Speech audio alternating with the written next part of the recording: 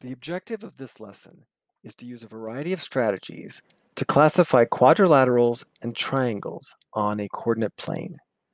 To help you follow along in this lesson, we recommend, and your teacher might require, that you complete the companion capture sheet, which shows all these slides and includes spaces to record notes and your thoughts. For this lesson, you will need to remember some important concepts. One, you will need to know what negative reciprocals are and how to use them to identify slopes that are perpendicular. Two, you will need to remember the different kinds of triangles and the properties of each. Lastly, you will need to recall the different kinds of quadrilaterals and the properties of each. To help you, we have provided two resources the first is called Properties of Triangles. I suggest you keep it handy during the next few slides. It describes each type of triangle and how to identify them. Suppose you are given the coordinates of three vertices of a triangle.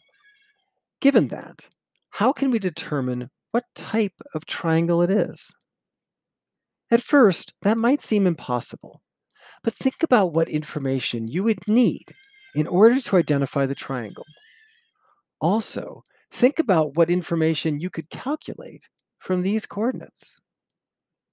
Pause the video here and record your thoughts in the red box on your capture sheet. What would you need to know or figure out in order to be able to identify this triangle? Well, we can certainly plot the points and look at the triangle. And looking at it, we can make some guesses as to what kind of triangle it is. It's hard to say, but perhaps BC and BA are perpendicular. So maybe it's a right triangle. How could we prove that those two segments are perpendicular? BC and BA possibly are the same length. So it could be an isosceles triangle. How do we find the length of a side? Using what we know about coordinate geometry, we can find the slope and the length of each side of the triangle. If we apply the formula for slope, we see that the slope of AB is negative 3 fifths. Applying the same formula again, we see the slope of BC is 11 sixths. And the slope of AC is negative 17 fourths.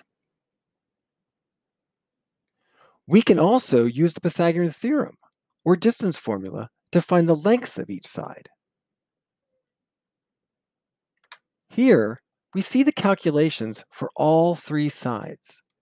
Notice that we can use some of the calculations we already used to find slope in our distance calculations. For example, the slope of AC was negative 17 fourths. And to find the length of AC, we find the sum of the squares of negative 17 and of 4. So now we have the slopes of each side and the lengths of each side. Do you think you know what type of triangle it is now? Before we answer that for sure, let's take a look at our resource document, Properties of Triangles. Here we see a part of that document showing us the properties of scalene and obtuse triangles. What properties do you see here that are relevant to the current problem?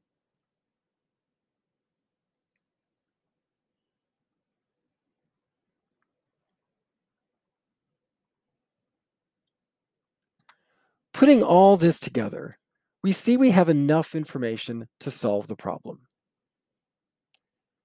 We can now say definitively that this triangle is scalene and obtuse. How do we know this? We know this because all the slopes are not negative reciprocals. So it isn't a right triangle. We also see that the lengths of each side are different. So it must be scalene.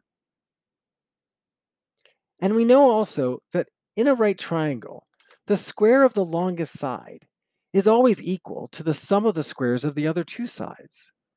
But in this case, the square of the longest side is greater than that sum. In effect, it's too large, meaning the opposite angle must be greater than 90 degrees. Therefore, this triangle is scalene and obtuse. Now, let's consider a quadrilateral defined by points A, B, C, and D. What type of quadrilateral could it be? There are many types of quadrilaterals, from parallelograms to kites. Pause here and review the resource describing different types of quadrilaterals. And then, just like you did before, write what information you would need to be, to be able to identify this shape.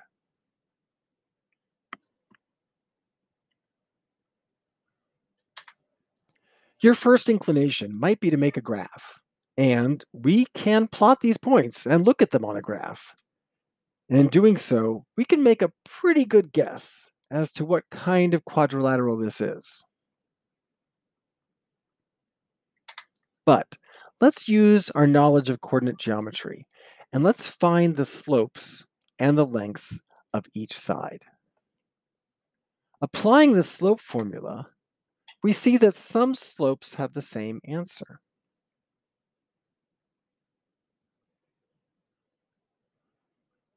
Applying the Pythagorean theorem, or distance formula, we also see some common answers.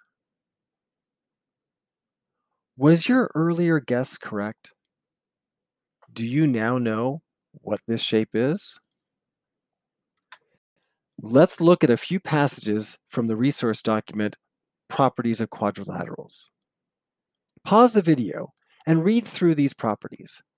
Which ones apply to this problem?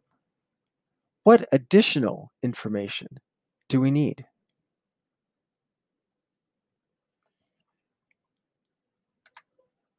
Now we can put all this together and see that, based on these measurements, quadrilateral ABCD is a rhombus. How do we know this? We know this because opposite segments have the same slope which means they are parallel. Opposite segments are also, by the way, of the same length. Either of these are sufficient to prove that this shape must be a parallelogram. But the slopes are not negative reciprocals, and therefore not perpendicular. So this isn't a rectangle. However, all segments are congruent to each other, which means it must be a rhombus. Therefore, quadrilateral ABCD is a rhombus. Notice that we can also determine this quadrilateral just by looking at the diagonals.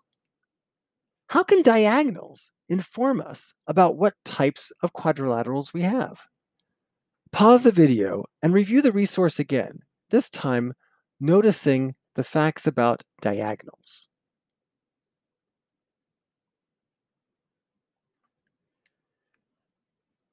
When we apply our knowledge of coordinate geometry, we can find the slopes,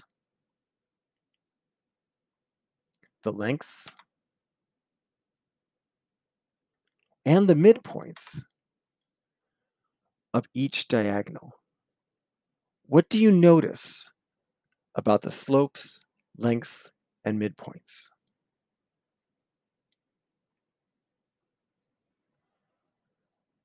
How does this show us that the shape is a rhombus? This gives us another strategy to identify the shape. We know quadrilateral ABCD is a rhombus. And how do we know this? We know this because since the diagonals share a midpoint, that means that each diagonal bisects one another. Therefore, it must be a parallelogram. Since the diagonals are not of congruent length,